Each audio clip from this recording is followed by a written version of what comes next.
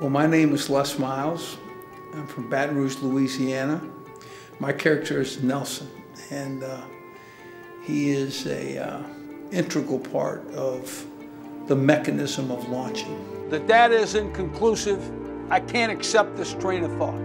It ran across my desk, and I love the historical significance. But these men were under enormous pressure. It was not easy.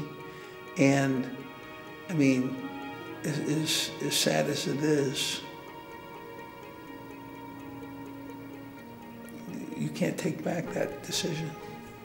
If the SEALs are a problem, then why aren't they in the problem assessment system documents we have here? And why are we just hearing about it now tonight? I, I knew Nathan, and I felt, you know, very comfortable that, that he would, uh, he'd be a guy that would be fun to work with. And, uh, and certainly he was. Uh, and when I came on set, I found a lot of new friends. I'm telling you to do it.